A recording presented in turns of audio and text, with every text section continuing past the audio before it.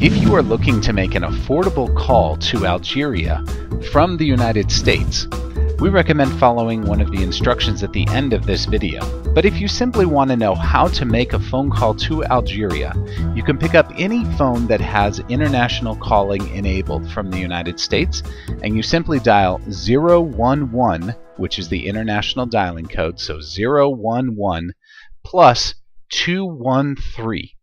213 is the calling code for Algeria.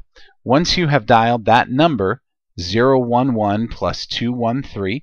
Then you can put in the number and you can call Algeria directly.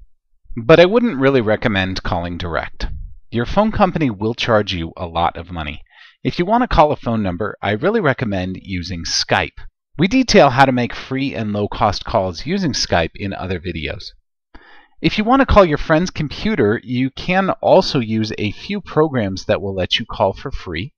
Of course, if you have Skype and they have Skype, then you can call using Skype, and you can click over here to learn more about that if you'd like.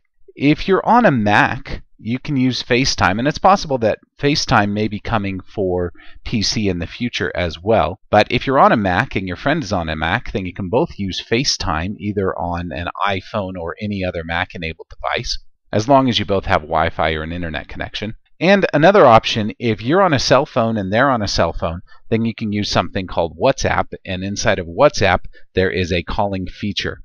Now you can click on any of these that we've detailed here, and you'll be able to go to a video that we've made about each of these so that you can learn more about how to use any of these apps for free calling and as long as you and your friend have them, you'll be able to make free calls using these tools.